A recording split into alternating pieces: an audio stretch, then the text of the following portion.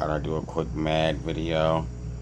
Oh yeah, this shit is fucking wow. I can barely look at it. I should be having some sunglasses on. It's got a mixture of uh 6500, 4000. 6500 is the DB band, 4000 is the CD band. And then I added some full spectrum, which are pink matte fucking blurple. And wow, the light is like stupid white. Now I've added some, you know, it's got the UV and the uh, infrared. It's 250 watts. I need to put a dimmer on it. This is I still got to do a little bit more.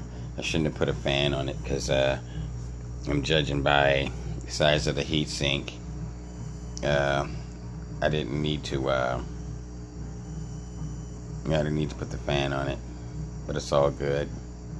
Other than that, I'll holler at you. I'll, I'll make a better detailed video later. This light is badass. Peace.